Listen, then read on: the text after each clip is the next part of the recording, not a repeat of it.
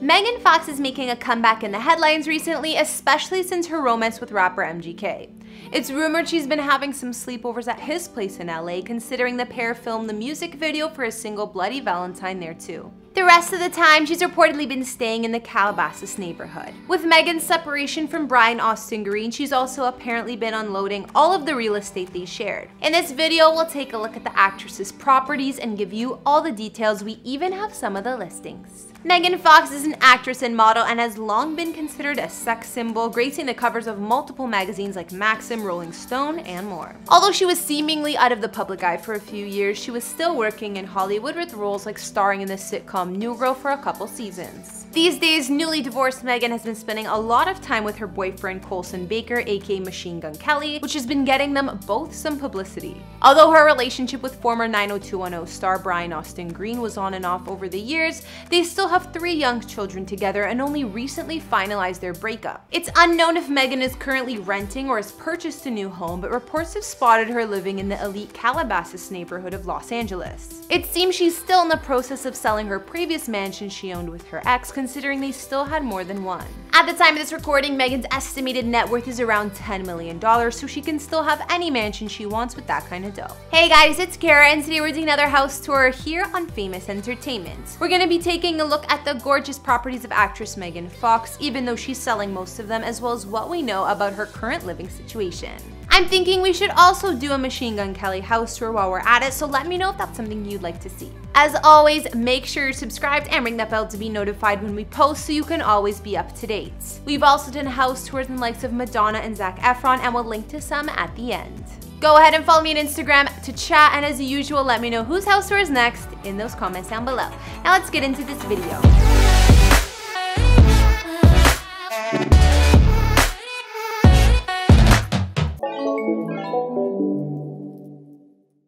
I mentioned, I'm not sure if Megan is renting or has purchased a new home by now, but there's been a lot of moving around thanks to her divorce. During the recent pandemic, it was reported that her and Brian were living apart, Megan spending her time in Calabasas while he was in Malibu. Sources found this out because Megan was spotted meeting up with Brian to drop their three sons off to go stay with him for a bit. There's a photo online of the Calabasas Oaks home where Megan appears to be living separately from Brian because only her car, the white Tesla, is seen on the driveway. Unfortunately, because everything has been kept pretty private, we don't know any other details about the home, so it could just be a temporary place as well. We also know that she's been spending plenty of time at MGK's glass-looking modern house too. Let's take a look at a home that Megan owned and the couple lived in but sold a few years back. In 2009, a home was purchased in the trendy Los Feliz area of Los Angeles, and according to property records, it was bought by a trust tied to Miss Fox. At the time of purchase, the place cost her about 2.9 million, but her and Brian ended up putting a lot of work and money into extensive renovations on the place. At first, it was described as very vanilla. The Mediterranean-style villa spanned over 5,300 square feet of living space and had four beds and five baths. According to the listings, the location allowed for views of downtown LA,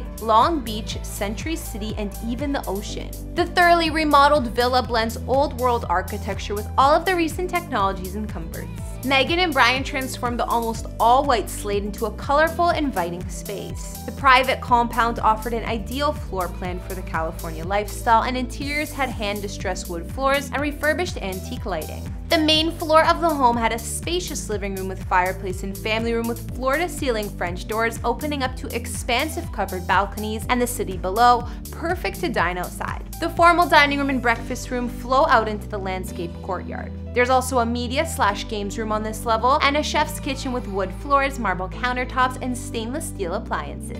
Megan's previous master suite had a walk-in closet, private terrace, and spa-like bathroom with a soaking tub and a closet that even has a window. The former couple styled the home with bold wallpaper, Spanish tile, and more eccentric touches. It got updated technology too, adding a projection screen, a sound system, and video camera surveillance. Outside, the gorgeous property was completely walled and gated for privacy and situated on a beautifully landscaped lawn spanning over 13,000 square feet. Of course, there was also a swimming pool with surrounding patio and space to lounge. When it came time for a new place, Megan put the home on the market for almost a million more than she paid at 3.9 million. Megan also used to own a home in the Sherman Oaks neighborhood of Los Angeles, which is an area in the San Fernando Valley that's pretty suburban.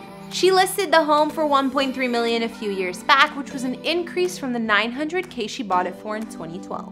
The home was rebuilt in 2007 and was a contemporary one-story property spanning 2,494 square feet of space. It had three beds, three baths, and although it looks slightly smaller from the exterior, there was still ample space inside. There's a large great room with vaulted ceilings which combines the kitchen, living, and dining areas. The kitchen has a large island with bar seating, stainless steel appliances, and walk-in pantry. And one of the living rooms has a fireplace and built-in bookshelves. Nearby, you'll find an area that was designed as an office but could easily be made into a playroom or something else. The airy master bedroom has a vaulted ceiling and glass doors that open onto the terrace, and the attached bath had two vanities and a soaking tub. On the patio outside, you'll find an outdoor fireplace, living area for cozy nights, and a koi pond with waterfall. Megan also transformed the garage at her casual and elegant elegant home into a lounge and games room. Toluca Lake is a neighborhood in the San Fernando Valley about 12 miles from downtown with that beautiful natural lake as the highlight. This house was actually part of an estate that once belonged to crooner Bing Crosby so it has a cool history and public records show the couple bought it around 2014 for 3.35 million.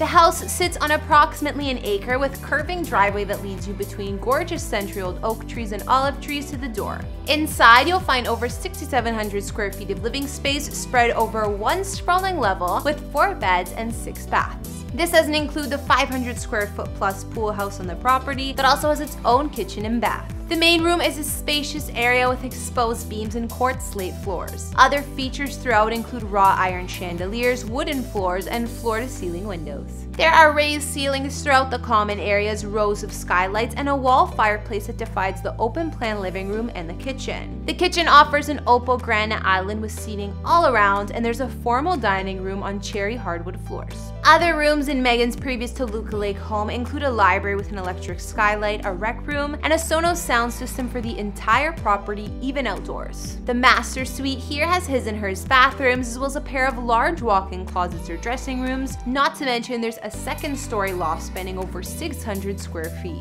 Outside, the backyard features a saltwater swimming pool and spa, as well as a fire pit. Aside from the fact that Bing Crosby used to live here, the home has some more recent Hollywood history, thanks to Megan and Brian. During the time they were living here, the house was actually featured on Bravo TV show Flipping Out, but the couple pulled out of the show for unknown reasons. It's assumed the project was halted due to the upcoming breakup of the couple. It still got a no expense spared renovation though, given a rustic yet modern makeover by Todd Deman and David Kramer of Paradigm Developers, and now the home is part farmhouse, part Hollywood glam. The house was sold to another Megan shortly after, singer Meghan Trainor, who bought the place for 4.9 mil and still lives there to this day. So now we've taken a look at actress Megan Fox and where she calls home, or where she's called home rather, considering she recently unloaded and sold a handful of properties. We have an idea of where the star is living in Calabasas, but I guess we'll have to wait for some more details on her living situation. After looking at the houses she once lived in in Sherman Oaks, Los Feliz, and Toluca Lake, which one was your fave?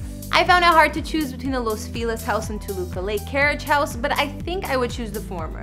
I love the Mediterranean style and how Megan and her ex redecorated the place with so much color and class at the same time. Definitely my style. Anyways, be sure to let me know what you thought in those comments down below, as well as what other celebrity houses you'd like to see. Follow me on Instagram if you haven't already and you want to chat, and I'll see you all in the next one. Bye!